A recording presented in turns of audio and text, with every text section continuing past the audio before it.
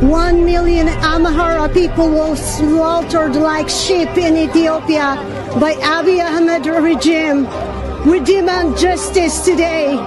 Justice from the United States of America.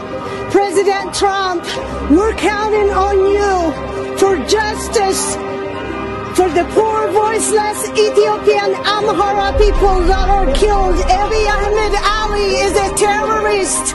Abiy Ahmed this regime is a terrorist regime, wiping out Amhara people, the starters, the owners of the land. They're trying to take over by killing all the Amharas.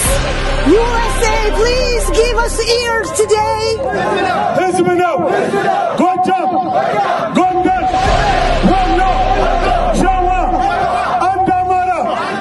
This tragedy affects tens of thousands of Washingtonians of Ethiopian origin who deeply are concerned of the safety of their families and communities back home. The conflict of the Amhara region has escalated into a brutal campaign targeting civilians. Stop bombing our schools!